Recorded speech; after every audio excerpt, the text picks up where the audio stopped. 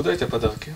Так, то, что у нас сейчас в коридоре, мы везем в Бурденко. Сегодня мы еще развозим по поликлиникам. В 14-ю поликлинику и скорую помощь мы уже подарки отвезли. Еще военный госпиталь у нас сегодня тоже по плану. Шанс побыть курьерами Деда Мороза получили пензенские волонтеры. Федеральный штаб общественного движения «Мы вместе» прислал в наш город 1100 подарков. В каждом шоколадные конфеты, вкусное печенье и сладкие мандарины. Год был достаточно напряженным и сложным. Э, Врачи работали, можно сказать, круглосуточно, и детишки достаточно, возможно, редко видели своих родителей, чтобы вот их немножко поддержать, и чтобы родители принесли со своей работы подарок от Деда Мороза, я думаю, им будет это настоящим чудом и подарком. Чтобы доставить пакеты с лакомствами, позвали на помощь волонтеров-автолюбителей. И несмотря на занятость, дел в преддверии Нового года у всех немало, добровольцы нашлись. Ну, вот так вот посчитали, ну, наверное, где-то около 100 каких-то вот различных акций, мероприятий, которые мы провели только в течение года.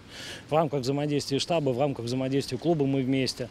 А, И кроме общественных организаций, здесь, конечно, это просто самое настоящее море предпринимателей, которые к нам присоединились. Нас поддерживает и правительство, Штаб движения «Мы вместе» будет работать и в дни новогодних каникул. В праздники волонтеры тоже будут помогать пензенцам, нуждающимся в поддержке.